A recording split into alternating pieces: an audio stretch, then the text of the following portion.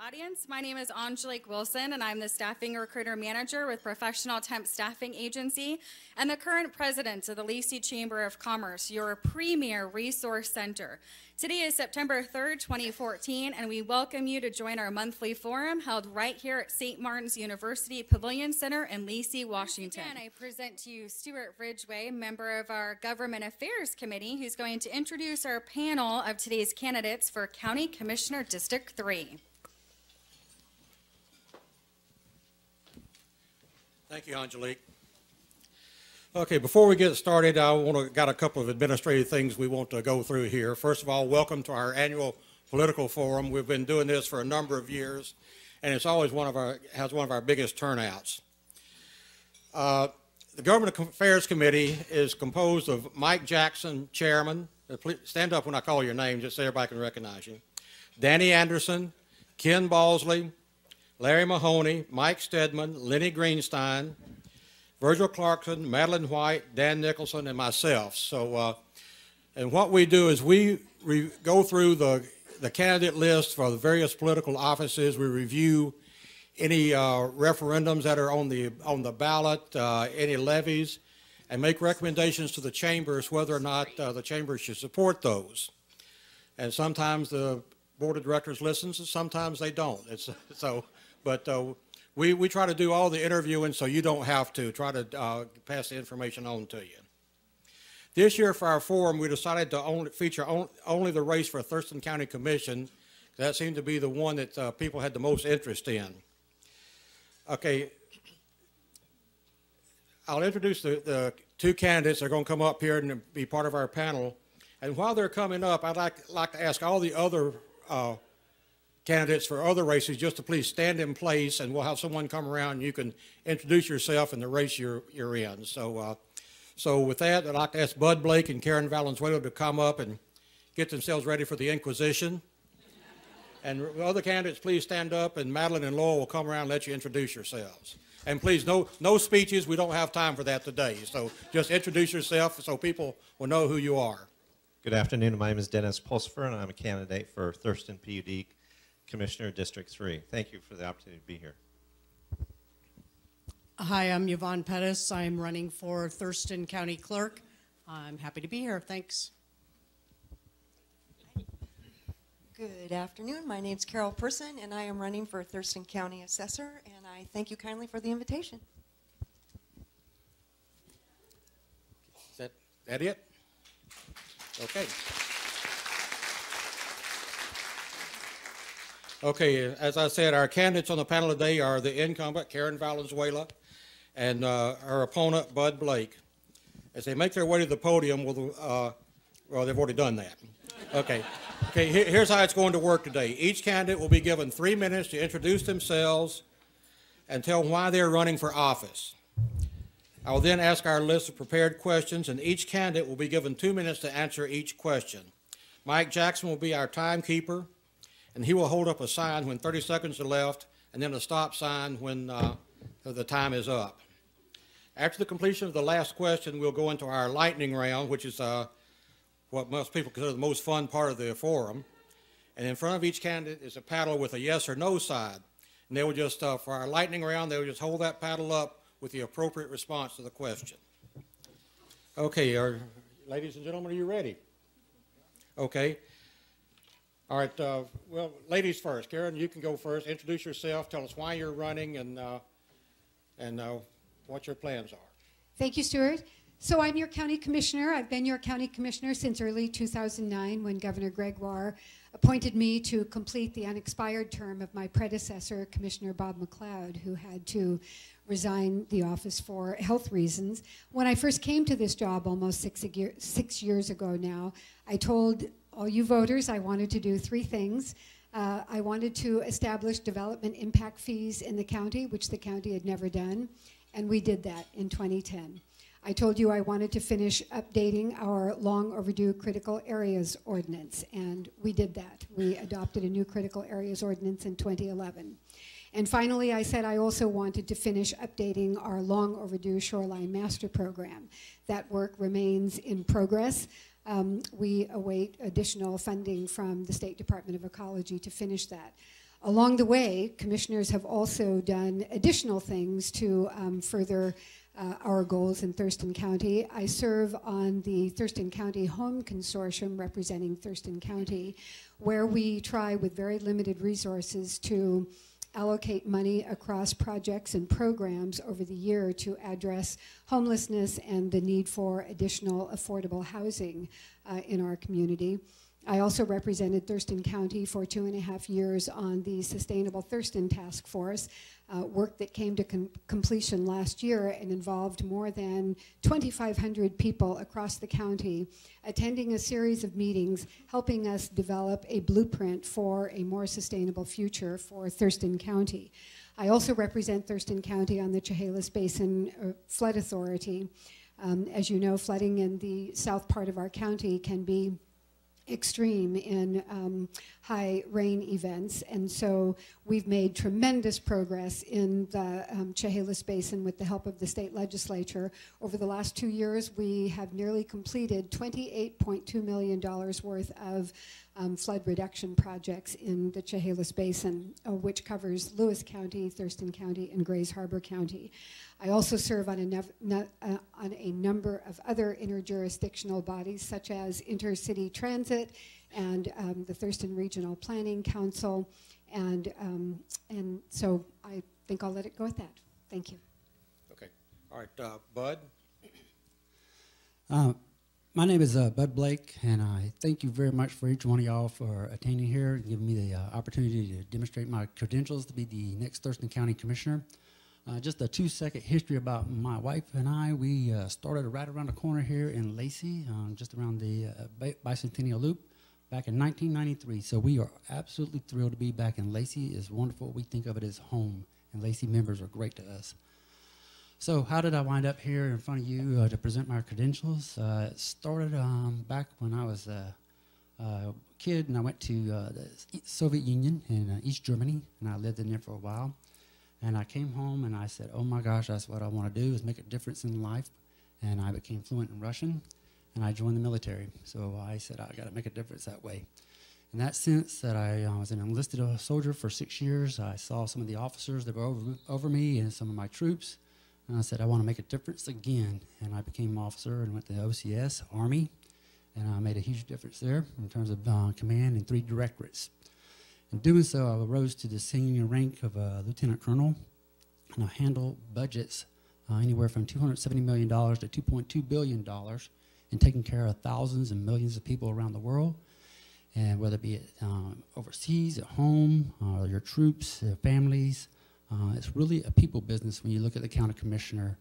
Um, knowing that uh, it's people business, you have to listen to them, what they're saying and what they're not saying at any given time as a collective, and take that and use your your analysis and move forward. That they'll let you know what they what they uh, what the world needs. Uh, understanding that, I um, I uh, presented my platform to you is that I am strong and pri my priority is uh, public safety. That's what the people want. Uh, the second thing is business and environment. Those two things go hand in hand all times. One does not dominate the other. And the other thing people really need and want and that I've seen is infrastructure. While there's not a sexy thing to talk about roads, uh, it gets you where you want to go as far as uh, your business, your pleasures in life, and obviously the responses to the emergency vehicles and so forth. And, so, uh, understanding that uh, you need a balance, and that's what I bring to the table as a county commissioner uh, balance in life. If you tilt too much one way to the environmental side or to the business side, you, you understand what's going to happen in terms of flopping, flipping, flopping, right? So I bring a balance, and I've always led that way, especially with inclusive leadership. So understanding that, I said, um, uh, it's uh, it's not just a balance, but you got to take the politics out of the out of the business of Thurston County. The people's problem in the community doesn't call for an R or a D or an I. It's a problem. You go solve it and you move on to the next problem. So, with that, we could do better.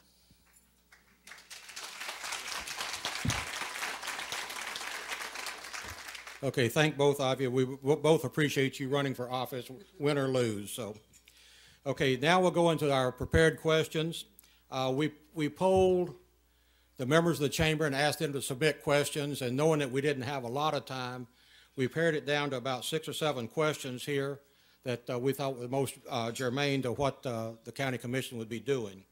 Uh, in this, each of you will be given uh, two second, two minutes to answer, and and we will alternate who goes first. We will alternate who goes first so that nobody gets an advantage. First question: uh, Thurston County, like most uh, government agencies, is facing a budget crunch in the coming years. What is your pl- plan to deal with the projected budget issues moving forward if elected slash reelected?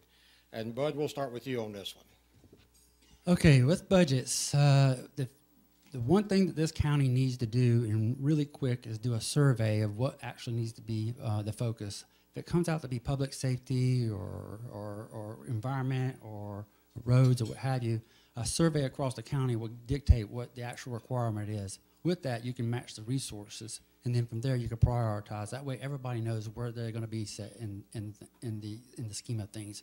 And additionally, audits, and I'm huge on audits. From running the budgets I have in the military, we run them every 18 months to every five years to make sure that you, you clean up the waste and, and, and the debt that's, that's occurred over time. That way you can take that money and move it back into, from an expenditure to a revenue source there, and, and your budget's then hopefully on cue by then.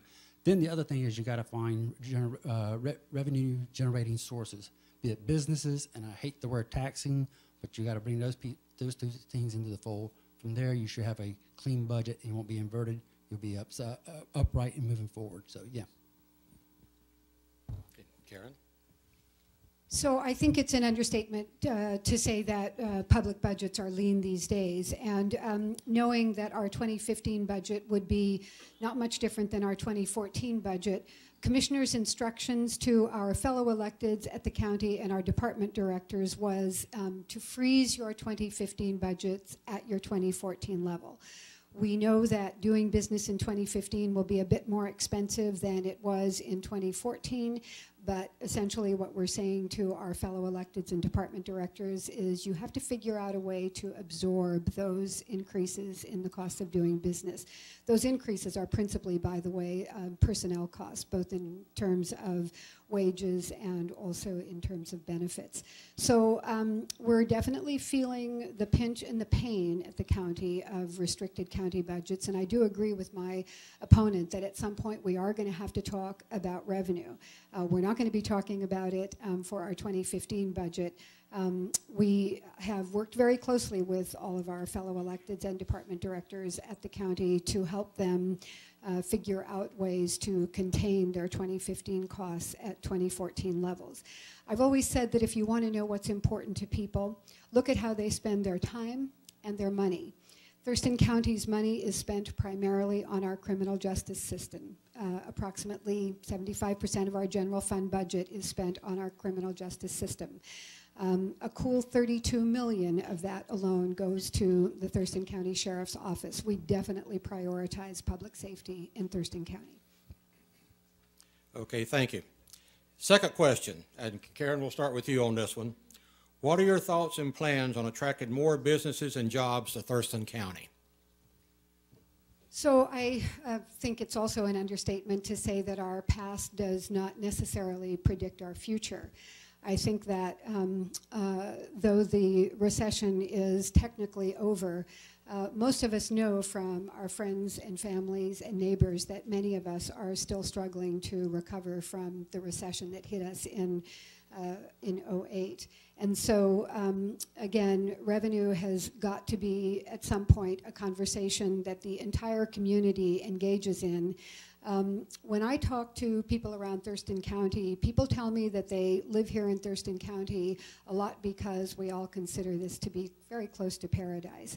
And we're pretty um, concerned about preserving what we think of as paradise. And so um, the focus of your Thurston County commissioners is to, on the one hand, preserve what we all love about this beautiful place we live in, and on the other hand, figure out a path toward a more sustainable future.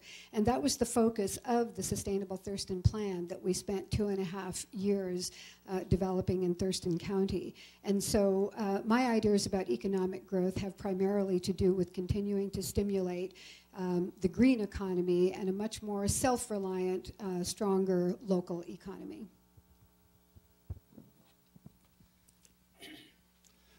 Okay, um, the way I look at it as far as attracting more businesses, if you look at how Lacey in the last four to five years done really well in terms of retail and, and is on an upward uptick in terms of uh, their economic um, piece, centerpiece there. Uh, if you look at downtown Olympia, it needs a lot of help in terms of their economic and the struggle that they have down there. West Olympia kind of gets a buy; they're doing all right. Thurston County is um, is falling behind; has not had quite the success that Lacey has. So, understanding that's the, the kind of the uh, roadmap or the landscape of the um, economic situation. Um, some of the things that we're going to have to do uh, is re- relieve ourselves of, uh, of the restrictions and regulations to allow some of those businesses to come in. One comes to mind that's very controversial is the is the pocket gopher. Um, that has uh, prohibited and restricted businesses to um, grow within the um, cities, and obviously it restricts some of the developments in the rural areas.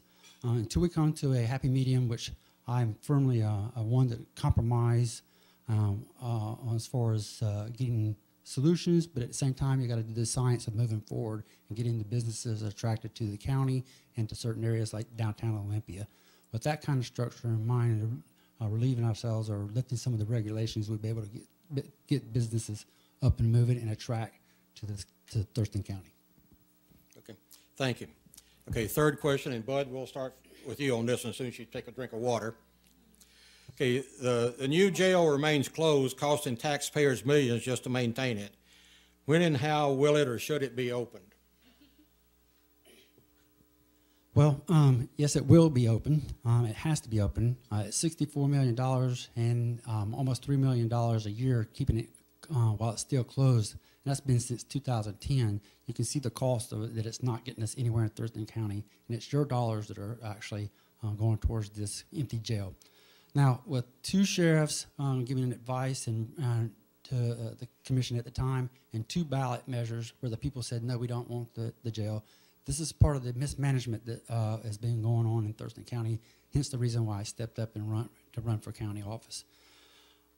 um, at the time, uh, there's a contract going on that possibly will come through, but it's still in mediation right now. So there's not any kind of proposal. But it calls for just staffing of 12 hours uh, for the jail, which really does not uh, a feasible, suitable way of doing a jail. You know, that's got to be almost 24 hours. If you're going to have a jail, you can't have the inmates putting themselves to sleep and what have you, right?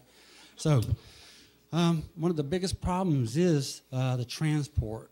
Uh, while it's uh, the current jail does not have the problem of the transport, um, the tr- if we opened up the jail, the ARC, uh, then you would have that transport, and with that comes security, uh, logistics, and all that behind that. So that cost needs to be factored in. And then, of course, we need to factor in the cost of staffing the jail, which would come out to about 118 if you do the 12-hour version, and about 143 if you do the 24-hour version. Um, well, to get it, you're going to need some more money. And I don't want to say the word uh, levy, but you might have to do the levy, but you can bring more businesses in uh, to, uh, to, get the tax revenue off of that. And then there's an option out there. I've been talking with Fort Lewis uh, occasionally uh, they think that they need to redo their uh, regional control uh, correction facility. They might be able to rent it for eight to 10 years. That's a uh, kind of a concept right there, but it is a solution in, in progress. So um, that's my, my take on it. Thank you. Karen? I agree with my opponent that we will um, open the county jail. Uh, the one thing that stands between us and moving into the jail is a ratified uh, contract with the Corrections Deputies Union. My opponent is correct. We're still in mediation uh, with the Corrections Deputies Union about that, but very close to an agreement. And um, I will quibble a little bit, a little bit about the cost. We spent $44 million building the jail and a little under $400,000 per year keeping it on warm closure. Nonetheless, the sheriff and the commissioners continue to work very closely together with the goal of moving into the jail. And we've got our eye on hoping that we'll be able to do that uh, by the end of this year. What my opponent is referring to about 12 hours, he's talking about the fact that we need to change our correction de corrections deputies' work schedule from the current uh, 980 to what is called the modified 12-hour schedule. The corrections deputies have agreed to that. We are staffed up and ready to go at the moment we get a ratification of that union contract, and we are fully funded, have been fully funded for the past two fiscal years to move into the jail without um, any overruns. Okay, thank you. Okay, next question, and uh, Karen, you'll start with this one. With the listing of the pocket gophers as an endangered species, what are your plans to assure adequate housing can be developed and built to accommodate the future growth of Thurston County? So um, the listing of the pocket gopher and three other species as endangered and threatened in Thurston County uh, does uh, cause a, a, bit of a wrinkle in some people's development plans. Uh, that listing by the federal government, by the way, the local government had nothing to do with that um, has compelled Thurston County staff to work closely with the feds on developing what we call our habitat conservation plan. Uh, the federal government is helping to fund the development of our habitat conservation plan. Until we have that plan completed, we won't be able to know with any certainty where and at what level of intensity we'll be able to develop in areas where that uh, threatened species exists. Um, commissioners feel strongly about uh, both the letter and the spirit of the Growth Management Act, which uh, contemplates that we focus most of our new growth in our existing urban areas. And we fortunately have lots of space left in our urban areas to accommodate the growth we're expecting over the next 25 years in Thurston County. Okay, so to attract more housing and, then the issue with the, uh, the pocket gopher, um, what really needed to happen was a, a, a, detailed integration and mitigation plan, which never came from the, the county commissioners that are, that are currently in, in seated. Um, with that, uh, taking that into consideration, uh, you have to have kind of a compromise of uh, art of compromise and a science of going forward. And what I mean by that is meet a happy medium between the housing and the environment. Um, what I like to do is take out an example where at the Port of Olympia out at the airport, uh, they take the solar panels and they put them into the ground and where the pocket gopher can still roam around and do the things pocket, go pocket gophers do. And so uh, that way you've kind of inserted technology in life without harming the environment in that sense. What we need to do uh, as far as uh, is creative thinking. How do we bring the two together as far as uh, housing, the growth piece of the housing, and the environment as a whole so they complement each other and don't dominate one or the other, but at the same time move forward and be able to, to uh, accommodate both people and environment. So, yeah. Okay, thank you. Okay, next question. Although they say they just had their most successful year yet, what more can be done to keep the Thurston County Fairgrounds viable? Bud, we'll start with you. Uh, to keep the Thurston, uh, Thurston fairgrounds viable. Uh, I think there's absolutely a wonderful volunteer team out there, and they have a historical knowledge in terms of what has happened in, in the past to get us to where we are today. However, there needs to be uh, energized and synergized a new thought process in terms of what the new generations want at a fair. Um, while I know that it's not always on the uh, Thurston County books, and there's about a million dollars allocated towards the fair, it's up to the volunteers and uh, to make the difference in that in terms of being profitable each uh, each fair season. Um, and doing that, uh, they need we need to actually revamp revamp ourselves, rebrand ourselves to attract um, ticketed businesses such as the BMX or the equestrian. But that doesn't always lend very well with the terrain. As you know, the fair has an up and a down portion there. Nonetheless, uh, has to be something that attracts some millenniums and others uh, other circuited uh, events throughout the uh, region or the country. That way they come on and, and be able to use the fairgrounds um, yearly and uh, annually. So, yeah. So Thurston County has just come off having one of our most successful annual Thurston County fairs ever. We were up this year both in terms of attendance and in terms of uh, revenue for the fair, which is a pretty helpful and encouraging thing. The fair um, had fallen on hard times for a couple of years, and so commissioners have been working pretty hard on rethinking and retooling the fair. We've added several new attractions, including something we call Savers South Sound, which features a lot of local brewers and vintners and cider makers for people to have an opportunity to be exposed to uh, what's going on in our local economy. We've added live and local music, which features um, lots of local bands and a variety of other new attractions to the fair because my opponent is absolutely correct. We need to figure out what will uh, make the fair a much more attractive venue for millennials and, um, and their children and their parents as well. But if this year is any indication, we're on the right path. Okay, thank you. Okay, next question. Karen, you'll open it, this one. Thurston County just lost a $12 million lawsuit concerning mining permits and delays in allowing operations to begin. In the future, how will you balance environmental concerns with the need to provide certainty to business so that it can operate? So um, uh, commissioners were in trial for uh, four weeks down in Lewis County, which resulted in the jury verdict that the um, uh, questioner just asked about. And uh, this was a result of a very small, fairly routine land use decision commissioners made that um, asked for extra assurances from the proponent of the permit that in the course of conducting mining activities, no critical areas would be harmed. Mining activities are currently being uh, conducted, and as far as we know, critical areas were um, sufficiently protected and not harmed. And commissioners consider it to be our paramount duty to balance both the needs of business with protection of the environment. And in that land use decision, we felt we were doing exactly that. The risk pool to which the uh, county belongs is currently preparing our appeal of that jury verdict. Um, this particular issue is really disturbing to me because um, not only did we lose $12 million in some of the uh, other costs that are associated with that in terms of lawyer fees and what have you, um, Thurston County now um, has a reputation that um, after 30 seconds after I take my oath, I've got to go defend.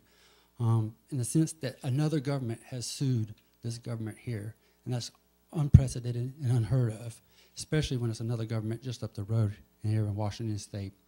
Uh, not only that, you have approximately 1 to 34 other county and their commissioners that are going to uh, cast a vote whether to keep Thurston County in the risk pool. That's alarming that that should even happen. Uh, so with that in mind, you can see how a business that wants to employ, uh, certain, seek out certain employees and uh, where they want to put those employees uh, to work and have their schools funded by the revenue that they're bringing, that might scare them off. And that's not what, what Thurston County needs to be about. So we can do better there. So um, I'll just leave it at that. Okay, thank you. Okay, our, our final question before we go to the lightning round, and Bud, we'll start with you. Who are your top three donors to your campaign? Yes, Top three donors, yeah. um, we don't need amounts, just the names. Uh, uh, Olympia Master Builders, uh, League of uh, Ch- Lacey Chamber of Commerce Business League, and Thurston County Realtors. Karen? So I may not uh, know the answer to that. Uh, Washington Conservation Voters uh, and uh, family members. Okay, thank you. Okay, now get, get your paddles ready for the, for the lightning round. Okay, first one, plastic bag ban, yes or no?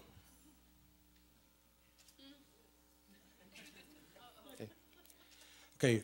Lower the watercraft speed limit on Lake St. Clair, yes or no? Should we have a time limit on building applications approval? Yes or no? Okay. Are you a Lacey Chamber of Commerce member?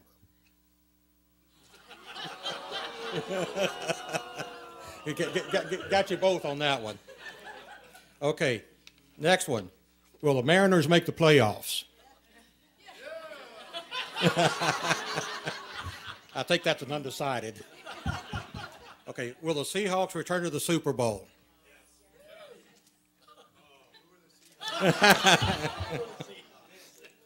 Okay, okay, I, I want to thank both of you for take, first of all, for taking the time to run for public office. I know it takes a lot out of your personal life, and also for taking the time to come meet with us here.